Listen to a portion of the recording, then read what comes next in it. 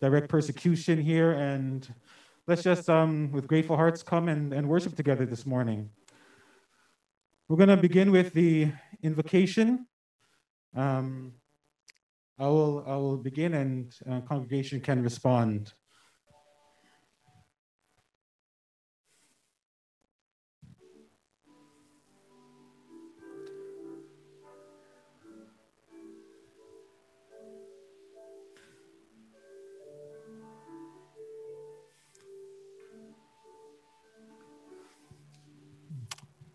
By awesome deeds, you answer us with deliverance, O God, of our salvation.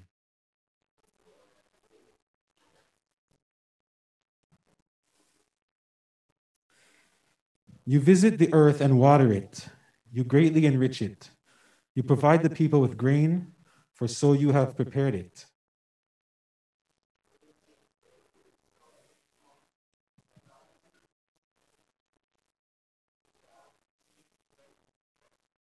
Let us worship God. Amen.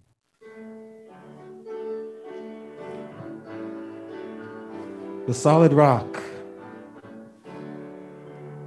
My hope is built on nothing less than Jesus' blood and righteousness. I dare not trust the sweetest frame, but wholly lean on Jesus' name. On Christ the solid rock I stand, all other ground is sinking sand. All other ground is sinking sand.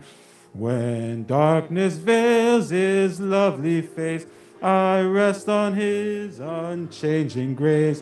In every high and stormy gale, my anchor holds within the veil. On Christ the solid rock I stand. All other ground is sinking sand. All other ground is sinking sand. His oath, his covenant, his blood support me in the whelming flood. When all around my soul gives way, he then is all my hope and stay. On Christ the solid rock I stand. All other ground is sinking sand. All other ground is sinking sand. When he shall come with trumpet sound, oh, may I then in him be found, dressed in his righteousness, O Lord fruitless to fall before the throne. On Christ the solid rock I stand, all other ground is sinking sand. All other ground is sinking sand.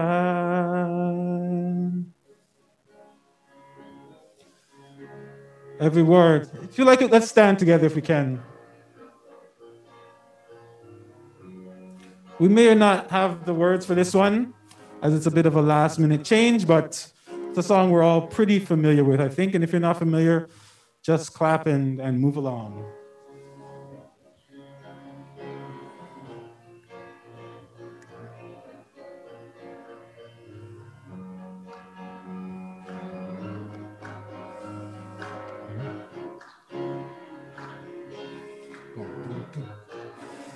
Every praise is enough.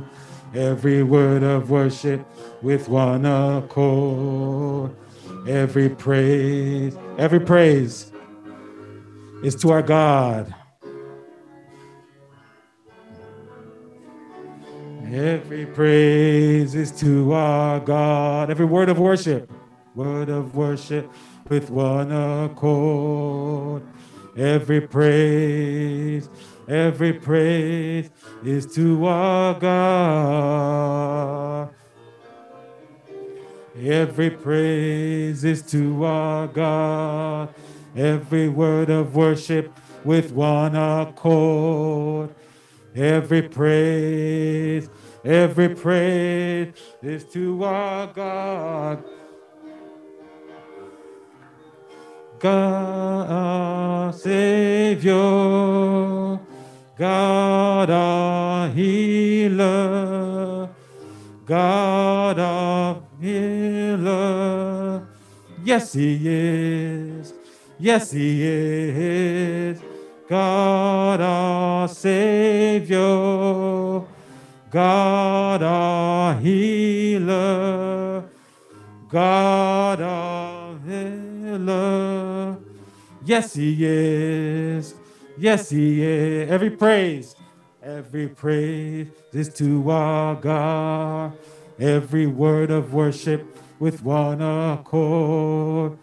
Every praise, every praise is to our God. Last time. Every praise is to our God. Every word of worship with one accord. Every praise, every praise, every praise, every praise, every praise, every praise, every praise, every praise, every praise is to our God.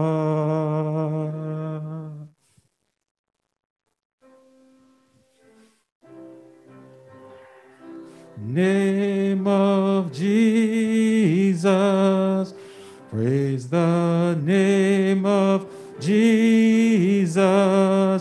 He's our rock, He's our fortress, He's our deliverer. In Him will I trust. Praise the name of Jesus. To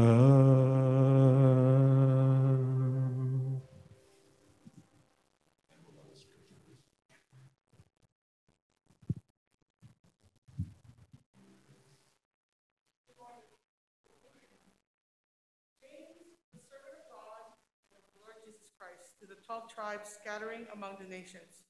Greetings. Consider pure joy, my brothers and sisters, whenever you face trials of many kinds, because you know that the testing of your faith produces perseverance. Let perseverance finish its work so that you may be you may be mature and complete, not lacking anything. If any of you lacks wisdom, you should ask God, who gives generously to all without finding fault, and it will be given to you.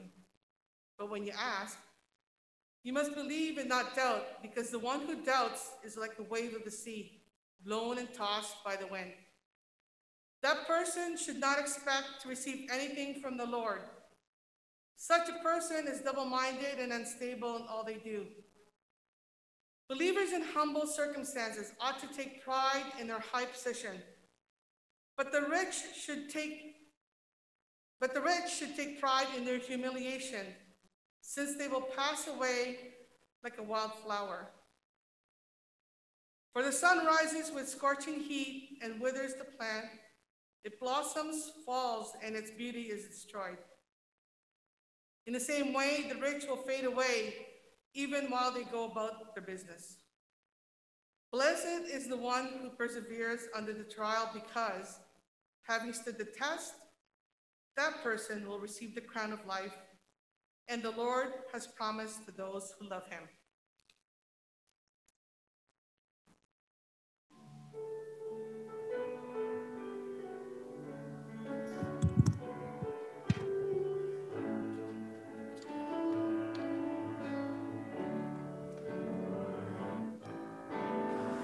I've had many tears and sorrows. I've had questions for tomorrow. There have been times I didn't know right from wrong. But in every situation, God gave blessed consolation that my trials come to only make me strong. Through it all, through it all, I've learned to trust in Jesus. I've learned to trust in God. Through it all, through it all, I've learned to depend upon His word. I've been to lots of places. I've been to lots of places and I've seen lots of faces. There have been times I felt so all alone. But in my lonely hours, yes, those precious lonely hours, Jesus let me know I was his own. Let's sing through it all. Through it all. Through it all. I've learned to trust in Jesus. I've learned to trust in God through it all. Through it all. Through it all. I've learned to depend upon His word. I thank God for the mountains. I thank God for the mountain. And I thank Him for the valleys. Thank Him for the valley. Thank Him for the storms He brought me through. Me through. For if I'd never had a problem, I would not know who could solve them. I'd never know what faith in God could do. Let's sing through it all. Through it all. Everybody sing. Through it all. I've learned to trust in Jesus. I've learned to trust in God. To trust in God. Sing through it all. Through it all. Oh, through it all. I've learned to depend. Let's sing the chorus one last time. Learn to depend upon His word.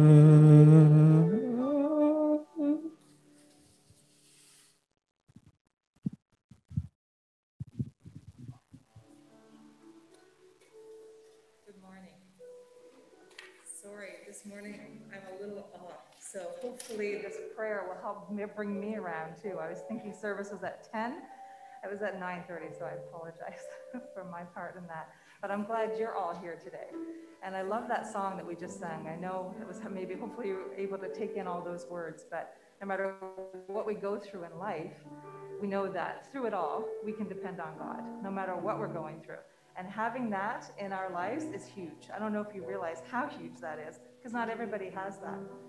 And so, how fortunate we are, how blessed we are to know that whatever you're going through, whatever our families are going through, we have someone bigger than us that is helping us through the way, through it all. So let's pray. Heavenly Father, we come before you today with gratitude in our hearts for being the kind of God that loves us unconditionally, that's with us through it all. You are faithful. You are righteous. You are our guide. You are our lighthouse. You are everything we need. All that we need, we get through you. God, help us to appreciate you, to love you more, to trust you more. Help us, God, to depend on you through it all. Lord, as we come before you this morning, I'm sure there are those who are struggling, whether it's physically, mentally, financially. There's so much going on in our world at this time that it can be overwhelming. For those, Lord, who are going through a rough time at this time, we ask, God, that you would lift them up, that you would fill them with your spirit and remind them that you are with them and they are not alone. Lord, we ask for those who are struggling mentally that you would give them a sense of peace in their heart and their mind. Help them to know that they're not on this journey alone and that you are watching over them. And for those who are struggling physically or financially, Lord, we ask that you would help them to know that they are not alone either, that you are with them as well. Lord, you are a God who is sovereign and you are in charge of all things. Help us to trust you. Help us to rely on your word and on your promises and on your Holy Spirit that resides inside of each one of us. Lord, today, for each one who is here, we thank you. We thank you that they're healthy enough to be here, that they're strong enough to be here. And Lord, we ask that you would bless them as they are here today. We ask that you would lift them up, rejuvenate their spirit, renew their minds, and help them as they walk in their this journey called life. We ask that you would give them the ability to walk uprightly. Give them the ability to glorify you. Give us all the ability to glorify you in all that we say and all that we do. Lord, we just ask your blessing on each person here this morning. And for those that are watching from home or that aren't able to make it out, Lord, we ask that you would especially bless them and let them know that they are here in spirit and we know that. So we just ask you would be with them. For other prayer requests that I may not know of that are going on within the community, Lord, we lift those prayer requests up to you now. We'll just take a moment as you think of someone in your heart that you would like us to pray for this morning. Let's just think of them now and lift it up to God.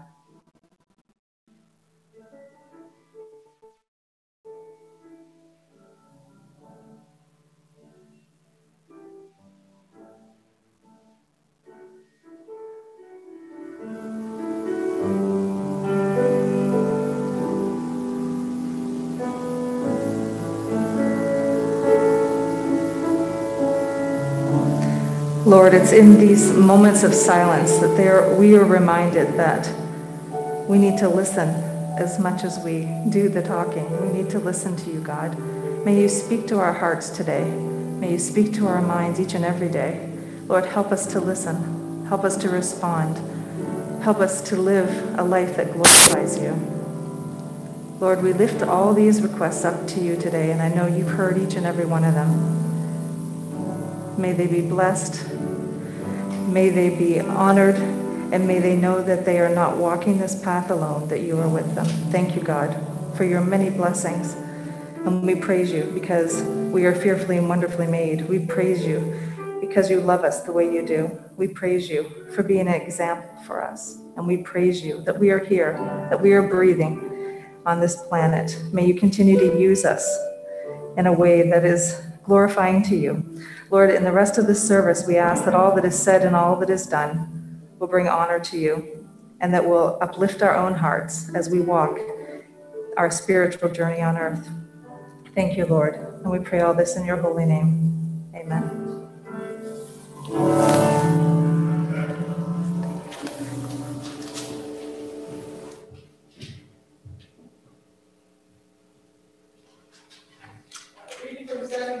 2 Corinthians 4 7 to 12. But we have this treasure in jars of clay to show that this all surpassing power is from God and not from us. We are hard pressed on every side, but not crushed, perplexed, but not in despair, persecuted, but not abandoned, struck down, but not destroyed. We always carry around in our body the death of Jesus, so that the life of Jesus may also be revealed in our body. For we who are alive are always being given over to the death for Jesus' sake, so that his life may also be revealed in our mortal body. So then, death is at work in us, but life is at work in you. Going to 2 Corinthians 4, verses 16 to 18. Therefore, we do not lose heart, though outwardly we are wasting away, yet inwardly we are being renewed day by day. For light and momentary troubles are achieving for us an eternal glory for that far outweighs them all. So we fix our eyes not on what is seen, but on what is unseen since what is seen is temporary, but what is unseen is eternal.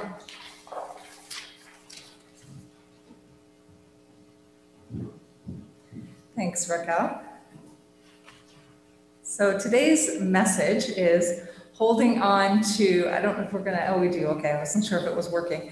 Uh, holding on when all hope is gone. That's the message today, the title of the message. And it's basically a lesson in perseverance. And I know we all should have that down, right? I wish. I wish it was that easy. I was going to show a clip, but due to time, it's just not possible. But I'm going to encourage you, when you have the time, to watch um, these uh, clips. You can. It's called. It's a. It's a. It's a uh, true life stories, and it's a series, and it's called "I Shouldn't Be Alive." And you can watch them on YouTube, the whole series. You can watch part of it on Amazon. And I'm really encouraging you to do it just because it will inspire you it will motivate you, and it will educate you as well on how to survive. Because basically, these are stories of people who, who go through horrendous hardships, whether it's a plane crash or lost at sea or lost in the forest and lost in the jungle. And they're basically striving to survive, to live. And they are able to persevere under the hardest hardships you can imagine without food and water. Maybe sometimes they're injured. Various episodes have different, uh, different things that they've gone through. And they have the people that it happened to telling these stories. They're true life stories. And the reason that I love it so much is because it's such a great example of how hope and perseverance work hand in hand. Because as you're watching these clips, you'll see the various episodes that uh, people who lose hope are, you don't see their story because they're not there to tell it. If you lose hope, that means perseverance isn't going to happen. You're not going to be able to persevere. You need hope in order to persevere. And the other thing that I noticed when I was watching that, are you able to hear me through this mic? Should I use this one, Michelle? Is it okay? This one's good? Okay. Back there. Um, so the other thing in these clips that I that I noticed, besides the fact that they all needed hope in order to persevere, and the ones who gave up, those ones didn't make it. But there were sometimes people around them who had hope and had hope for them. Those people survived. So there's voices all around us in our everyday life. There are voices that are encouraging and uplifting and motivating and encouraging us to keep going with what we're doing. And then there's other voices that are around us that are negative, that are telling us, you're not going to make it. That's, that's impossible. You can't do that. What are you thinking? You're not going to be able to do that. You're not strong enough. And there's voices inside our own head that are probably even worse than the voices outside of our head. And those voices are telling you the same thing. And they're saying, just give up now. You might as well give up now. You're not going anywhere. You're going to die. Whether it's one, one of these stories or your own story. Why are you trying so hard? Just let it go. Just give up. And there's a quote that I, that I read that I always hold on to. It says, When the world says give up, hope whispers, try it one more time. When the world says give up, hope says try it one more time. And it's just whispering it. It's not yelling it, it's whispering it.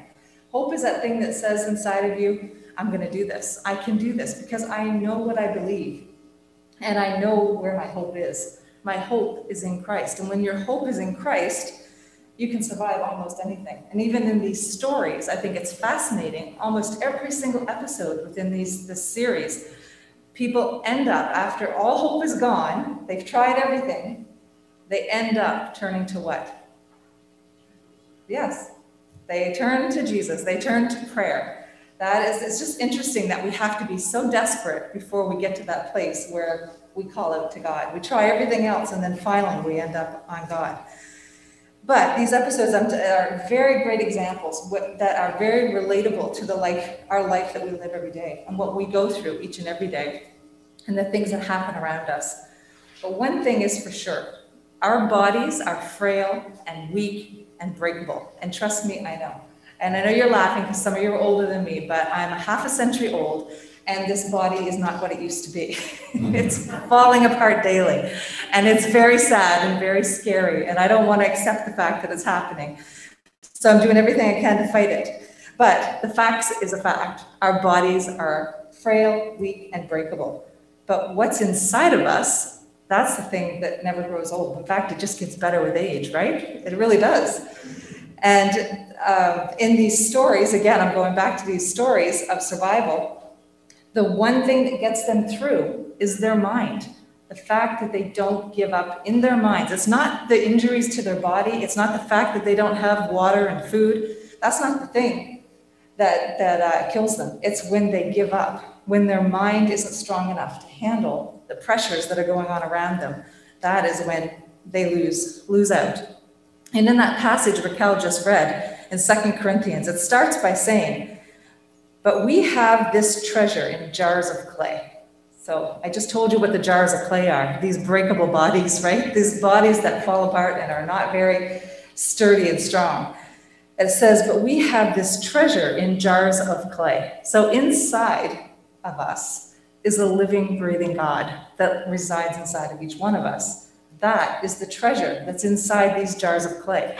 And at the time that this was written, jars of clay were a pretty huge, important, big deal. They didn't have the technology that we have today to, you know, have safes and that you could lock, or or they didn't have, you know, uh, uh, the kind of uh, compartments to put things in so they'd never grow old. All they had was these jars of clay, and everything that was valuable to them was they put inside these jars of clay, whether it was important documents or valuables they possessed or owned.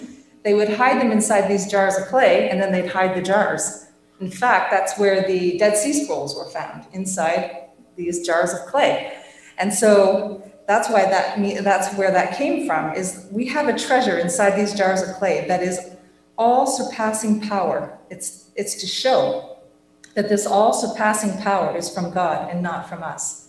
So the thing that will get us through in life is not these bodies. Thank goodness. the thing that will get us through this life is the all surpassing power that comes from God that's living inside of each one of us.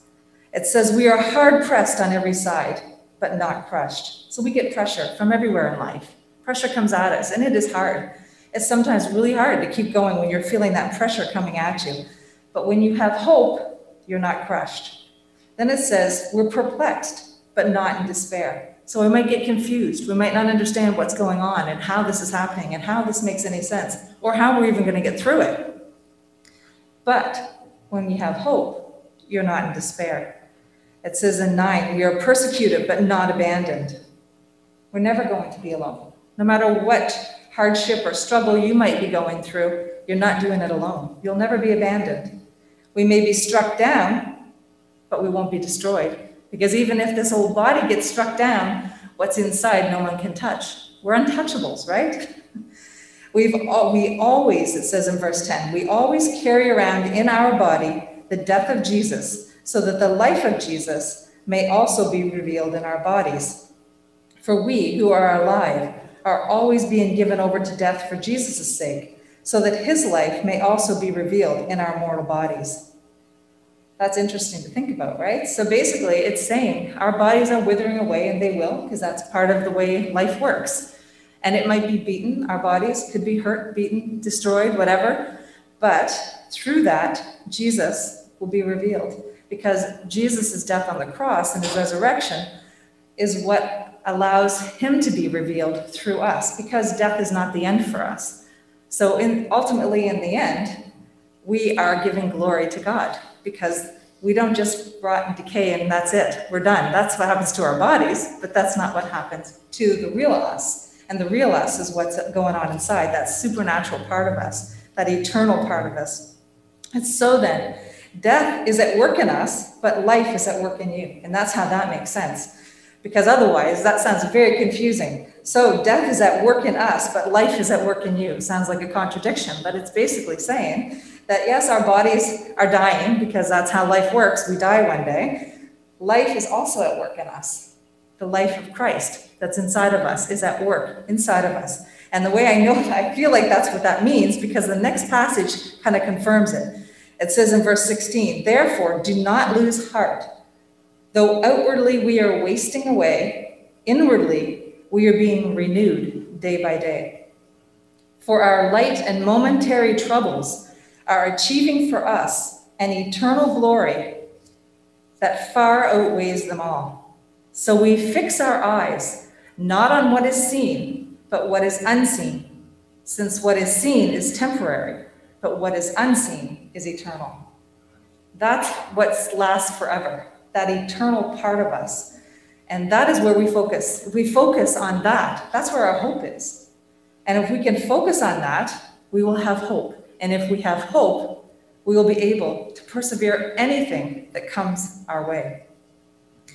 One thing, if you haven't figured out about me, I always look to biblical characters for my wisdom in my life. I feel like best place to go is the Bible. If I am stuck or I want to know what should I do with this or that, we can Google search. That Google answers a lot of our questions too. But when I really want some kind of, uh, you know, if I'm in a moral dilemma or I have a struggle I'm going through, I'd rather go to the Bible to find those answers. And so there's some characters who have persevered under incredible hardships and trials that I thought, we can probably learn some lessons in perseverance just by looking at their stories. And if I were to take all of them from the scriptures, we'd be here all day because there's so many, because we all have hardships and we all hopefully persevere. Sometimes maybe not, but we can still learn lessons from that as well.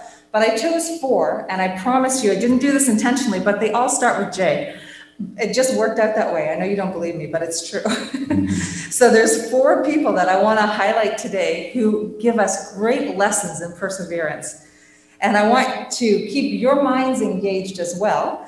So I'm going to make it into like a little trivia game. So the first one is, see, Desiree's already cheering because she loves games. I do too. Anyway, the first one is an easy one because it's from the Old Testament and he's known as the suffering servant. Job, exactly. Knew you guys get this one. Oh, now you got all the answers. Shoot. Maybe you should. Now you've seen them all. You're gonna you've ruined my game. all right, doesn't matter. Anyway, so Job um, is known as the suffering servant, and he is a great example um, of someone who went through hardship. When we talk about life throwing lemons at you, I mean, this guy had rotten lemons thrown at him. It wasn't just lemons, it was rotten lemons, and it was for a long time. It wasn't just for a few weeks or a few months, it was for years of his life, was spent suffering and struggling. So if we're going to learn anything from anyone, I think he's a good place to start. And so there's so many things to look at with him. I mean, he lost so many things. I know you guys know these stories, so that's why I'm not going into depth with them. But we, just as a reminder, we know he lost his home, he lost his livelihood, he lost all of like 10 children. He lost everything, even his own health. I mean, what more could he have lost and still be alive? Nothing. He lost all that could be lost. And, and for years on end, he did this. So, how many of us do you think could persevere under that? How many of us could hold on to hope in the midst of that kind of suffering? And he had his friends, his great friends, who came to give him all their, world, their wonderful wisdom. And when they came, they told him, Job, it's got to be you. You had to have done something wrong, even though we know he was blameless in the sight of God. His friends thought, no, you had to do something wrong. God's punishing you. That's why this is happening to you. And do you know how many times in the hospital I see people that say that same exact thing? I, more than I can count. They come in with, the, with illnesses and diseases and different things, injuries, and they believe that the reason that this is happening to them is because God is punishing them. And I think to myself, if that were actually true, God wouldn't have time for anything else because he'd be punishing all of us all the time. So, how does that make any sense? you know, it just doesn't. And so I think about it and I think, you know, this is just the way the world is made up. It works out. It's for every action, there's a reaction. That's just the laws that we, of nature that we live in, that God designed that way for our own benefit. So instead of looking at our suffering and our struggles and our hardships as suffering, we should look at them as an opportunity. I know it sounds silly, but it is. It's an opportunity, just like Raquel read earlier in James 1. I'm just going to read the three and four. It says, Because you know that the testing of your faith produces perseverance, let perseverance finish its work so that you may be mature, complete, and lacking nothing, and lack and not lacking anything. That doesn't sound like punishment to me. That sounds like an opportunity. Because if we're not growing, what are we doing? I think we're dying, right? Or we're stagnant, one or the other. So I'd rather be growing. So if suffering means that it's an opportunity for me to grow, I'll say, okay, bring it on. And that sounds easier said than done because when you're in the midst of it, you're not saying bring it on, you're saying get it away from me. I don't want it anymore. I can't take it anymore. But if we can somehow in our minds get the mindset that this is an opportunity for growth, not a punishment. And Job seemed to get that because Job didn't listen to his friends. He didn't listen and believe them. He instead trusted what he knew to be true in his heart. He said, he, he knew, so he went to God though, and he asked God, questioned God, and God said to him, Job, who are you to question me? Have you forgotten who I am? I'm the one who made the, sun, the, the sky and the sea and the creatures in, in the sea and the animals. I'm the one who tells the sun when to rise. Who are you to question me? I love that whole passage. And what he's saying there is a reminder to Job, just to set him straight. And that's kind of what prayer and spending time with God is all about, setting us straight, right? So even Job, a blameless man, needed to grow. Even with, like, it's like this one big classroom. Our world is one big classroom, and it's all about learning all the time. How wonderful is that? Till the day we die, we are learning something new. Even a blameless man had something to learn or be reminded of. And thankfully, Job persevered under all that, did not give in to his friend's advice, did not give in to his wife's advice to curse God and die. And because of that, because he held on to what he knew was true in his heart, he was not led astray. He was focused on God, and God allowed him to survive, and not only survive, but to thrive. And he was blessed sevenfold afterwards. Not that that is what we are, we are, you know, struggling toward, just so we get something in the end. But we do get something in the end, and God tells us that, that if we persevere, we will receive the reward from Him. And however that looks is up to Him, not up to us. And the next one then is, you already know, is uh, Joseph. And Joseph is one of my favorite stories and one of my favorite characters. And there's even a Broadway show after him. So I guess other people think the same about Joseph. And when we think about him, we think, okay, what do we learn about perseverance from Joseph? For in Joseph's case, this man was treated unfairly, unjustly his whole life. It seemed like every step forward he made, he got two steps back. Like, how frustrating is that? Just put yourself in his shoes and imagine. Every time you make you, you know, focus to do your very best, be your very best, give your very best, and you get going forward because of that, and then you just get shoved back. Like, it's frustrating. It would be very frustrating.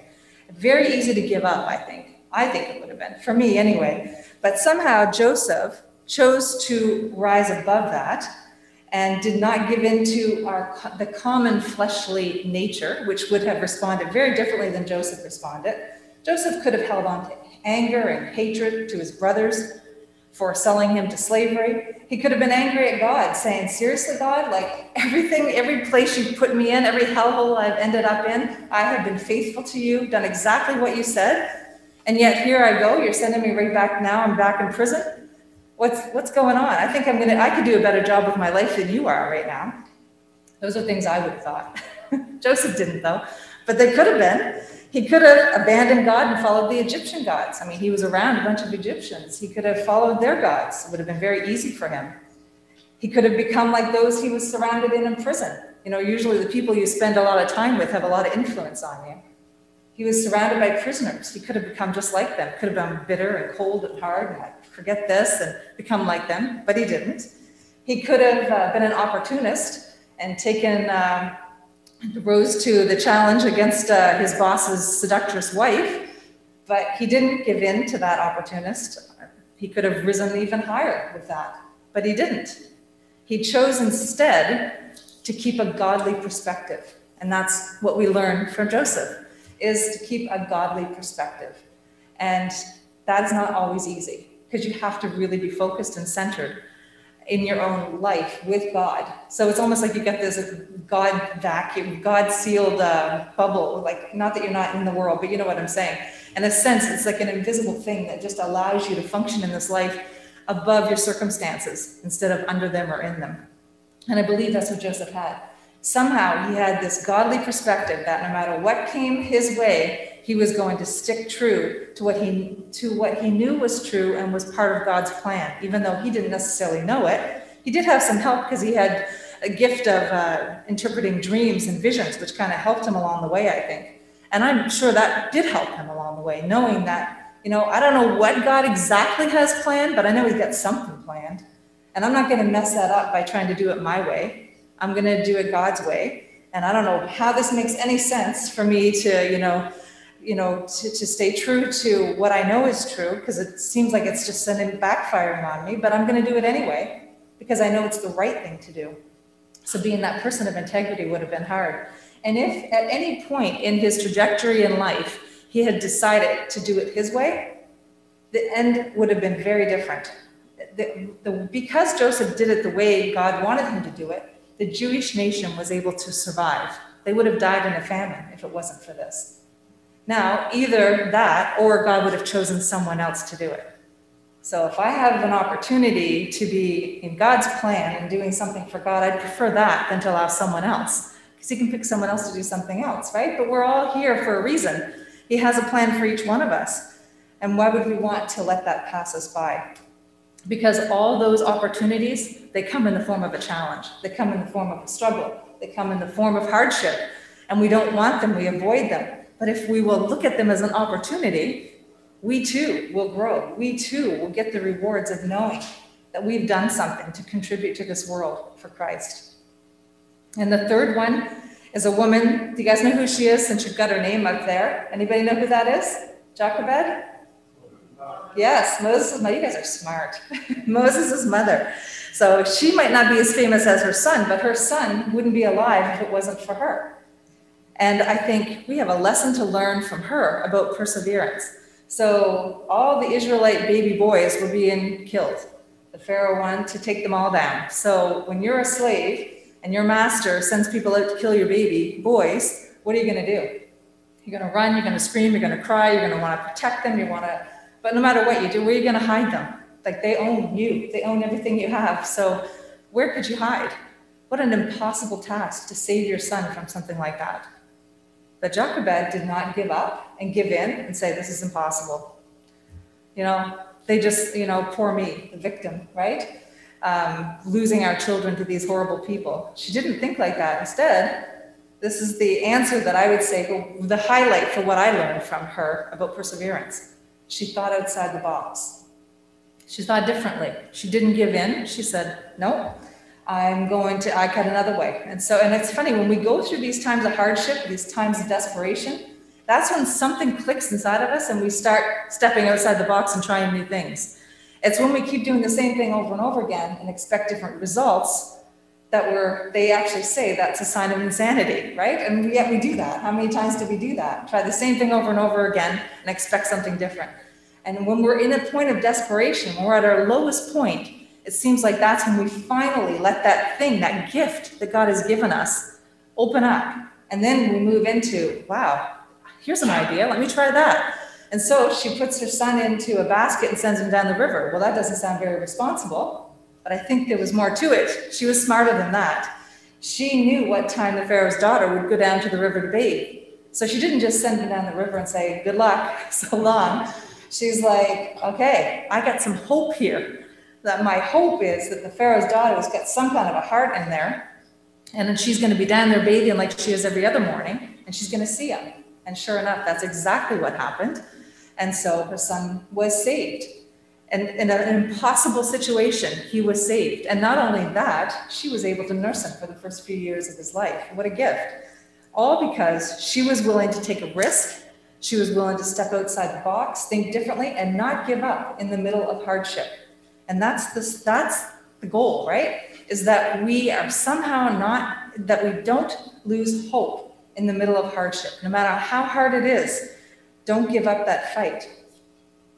And the last one, and the most, I know, most famous of all, who also had a Broadway musical named after him, but I don't know if I'd suggest it or recommend it, and that's Jesus. And Jesus, of course, is a great example, probably the best example we have of someone who suffered under incredible hardship and trial and persevered. He was being lied about, he was betrayed, he was denied by his closest friends, he was abandoned by almost everyone, including God himself. And he knew that the road ahead was leading to his physical death and also a temporary absence from God. Could there be a more literal hell than that? that is literally hell. And he knew that's what was, he was heading toward. And imagine if you put yourself in his shoes, you are you know exactly what's ahead, and it is not a pretty picture. I don't think there would be a trial that we could even go through that could compare, but he persevered. And the way he persevered was how? Anyone want to take a guess on this one?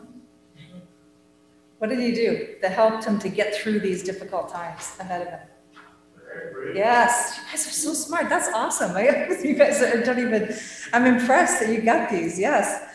So he prayed. That's exactly what he did. And so what we learned from him was to pray without ceasing, because that is what he did throughout that journey in his, his uh, earthly life here.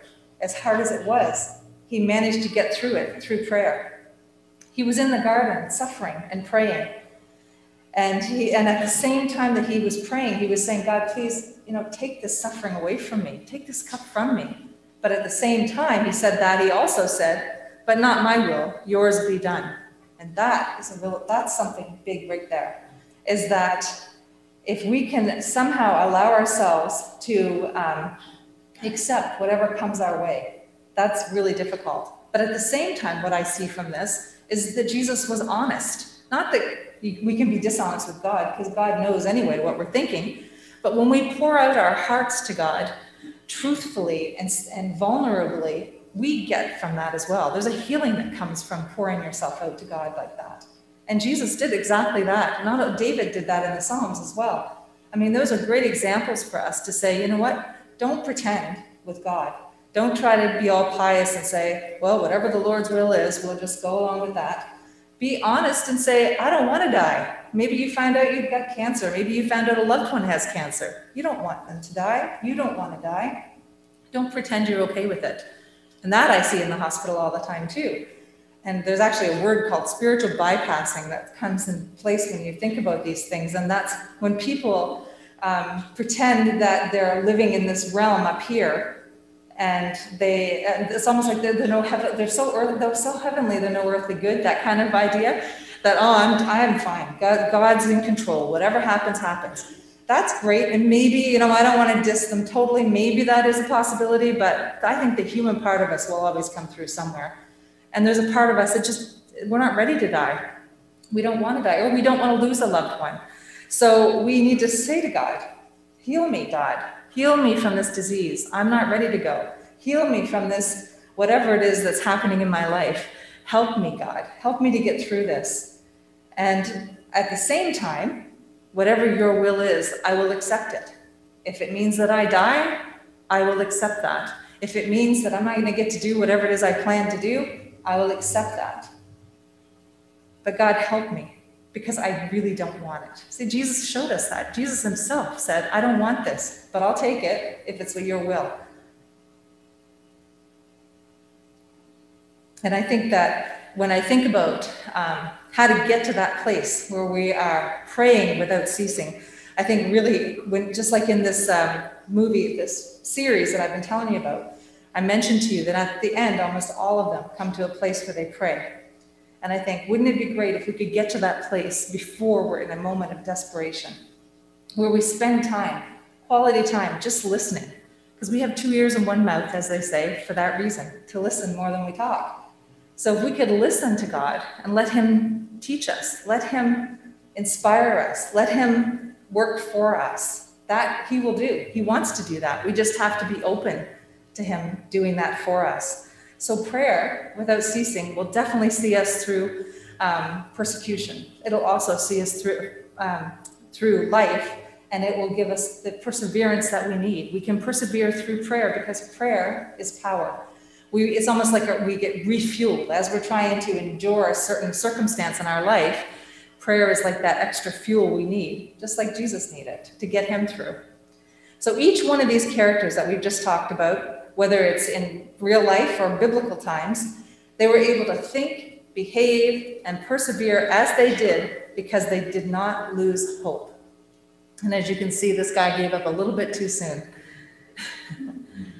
Perseverance is enabled by hope. Perseverance is impossible if we don't permit ourselves to hope.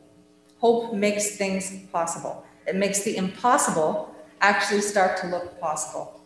There's a poster that I have on my in my office wall, and I've had it for years. And it's about it's a bird with a frog in his mouth, and I love this picture. It's been with me for ages um, because I just love what it represents. It represents not giving up. As hard as it may seem, as hopeless as your situation might seem, don't give up. Think outside the box, like this little frog is doing, thinking outside the box. He hasn't given up, even though it seems hopeless. Muhammad Ali says, when a man says, I cannot, he has made a suggestion to himself. He has weakened his power of accomplishing that which otherwise would have been accomplished. So if you say you can't do it, you're right, you can't. But if you say, yes, I can do this, I can do this because I have the living God inside of me, I have hope. The hope that I have comes from a God who is with me no matter where I go and no matter what I go through. And so, because of that, I can. I just want to give you one more example today of someone who was in our lifetime, because we can talk about biblical examples and we've almost put them on a pedestal thinking that there's something we're not, but they were just like us. But we do have many living examples of this as well. But one I want to highlight today is Martin Luther King Jr., because here was a man who had struggle after struggle to do what he felt called to do. He could have given up, he could have, and he very easily could have given up. I don't know how anyone can, can persevere under such tribulation and trial, such a huge, uh, vast majority against him, and yet he bravely stood up for righteousness. He stood up for equality and justice and peace. And that is huge. And an interesting part, as we know, it ended up taking his life. But it just goes along with what I've been saying that ultimately these bodies are wasting away. But what's on the inside is what matters. That's the thing that gives us hope and gives us a purpose for the future. And Martin Luther King was not without hope. And he knew that even wherever this led him, he was going to stay true to what God called him to do.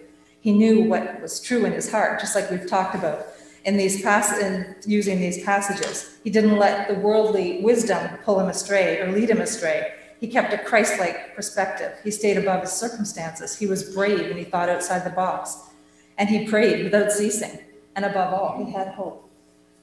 He had all those things that we're talking about. And I just want to share with you a letter, not, it's not a letter, sorry, it's his speech, but it's, I've got it written down for you. Um, just because it's hard to take it all in because it's very profound. He is um, during the civil rights movement, as we all know, I'm sure, from history, that um, four girls were killed in an African American church bombing by white supremacist terrorists. He spoke at the funeral. Now imagine what the people at this funeral were feeling. So much hatred, probably, so much anger, so much suffering, so much grief. Like I can't even imagine what that would have been horrendous. And he stood before them, and this is what he said. And so I stand here to say this afternoon to all assembled here that in spite of the darkness of this hour, we must not despair. We must not become bitter, nor must we harbor the desire to retaliate with violence. No, we must not lose faith in our white brothers. Somehow we must believe that the most misguided among them can learn to respect the dignity and the worth of all human personality. Now I say to you, and uh, there's a whole group in between there, but I'm just going to go to the end. Now I say to you in conclusion, life is hard, at times as hard as crucible steel. It has its bleak and difficult moments. Like the ever flowing waters of the river, life has its moments of drought and its moments of flood. Like the ever changing cycle of the seasons, life has the soothing warmth of its summers and the piercing chill of its winters. But if one will hold on he will discover that God walks with him and that God is able to lift you up from the fatigue of despair to the buoyancy of hope and transform dark and desolate valleys into sunlit paths of inner peace. This was a man who had hope, a man definitely to look at even more in depth. Incredible man, incredible life, and incredible inspiration that we have to follow because he was obedient to God, because he was brave, and because he persevered under extreme persecution, hardship, and trial. Isaiah 40, 25 to 31 says, To whom will you compare me? Or who is my equal? says the Holy One. Lift up your eyes and look to the heavens. Who created all these things? He who brings out the starry host one by one and calls forth each of them by name. Because of his great power and mighty strength, not one of them is missing. Why do you complain, Jacob? Why do you say, Israel, my way is hidden from the Lord? My cause is disregarded by my God. In other words, God's left me. He's not there. Where is he? Do you not know? Have you not heard? The Lord is the everlasting God, the creator of the ends of the earth. He will not grow tired or weary and his understanding no one can fathom. He gives strength to the weary and increases the power of the weak. Even youths grow tired and weary, and young men stumble and fall. But those who hope in the Lord will renew their strength. They will soar on wings like eagles. They will run and not grow weary. They will walk and not faint. Those who hope in the Lord will renew their strength. Let us hope in the Lord. Let us not lose hope. Let us not get distracted and, dis- and led astray by negativity and worldly wisdom. Let us trust in what we know to be true in our hearts. Let us keep a Christ like perspective. Let us rise above our circumstances. Let us be brave and think outside the box. Let us pray without ceasing. And above all, let us hold on to hope.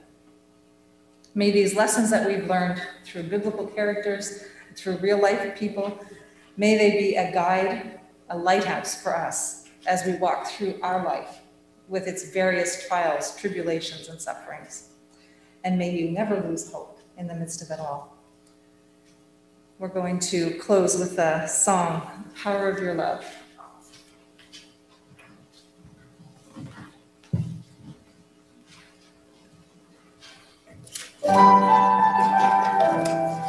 come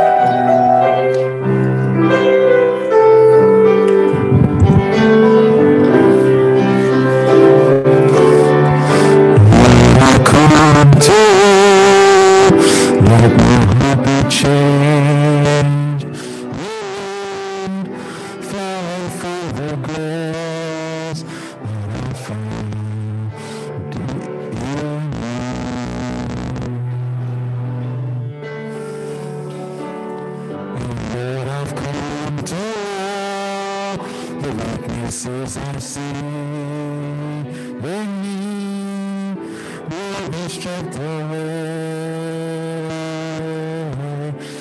the power of your love.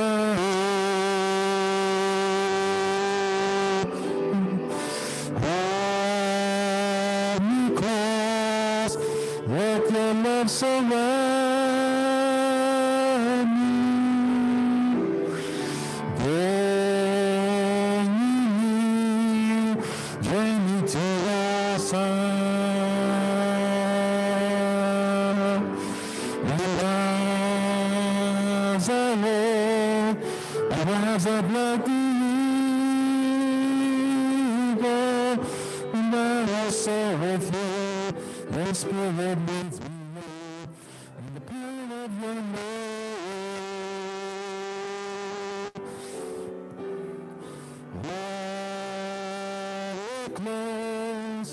Let your love surround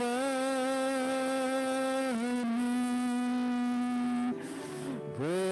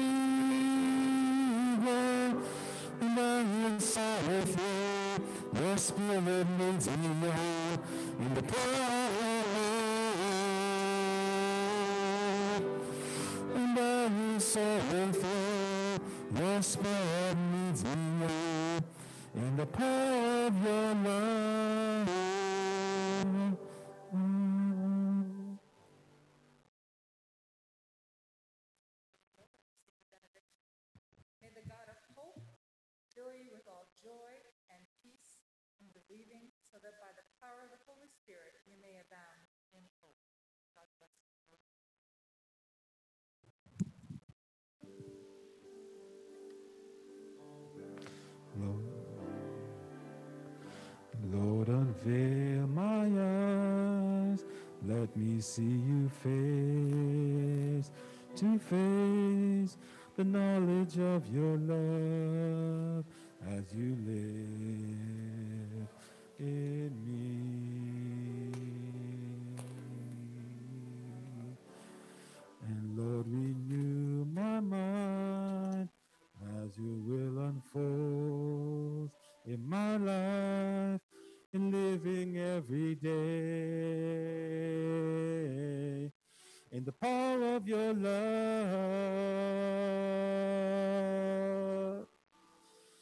hold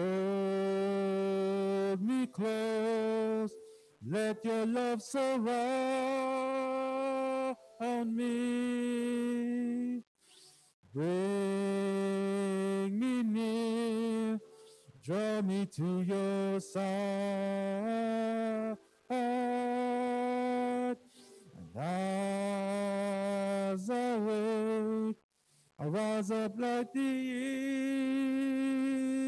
eagle, and I will soar with you.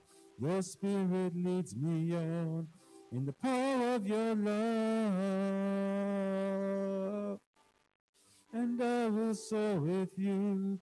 Your spirit leads me on in the power of your love.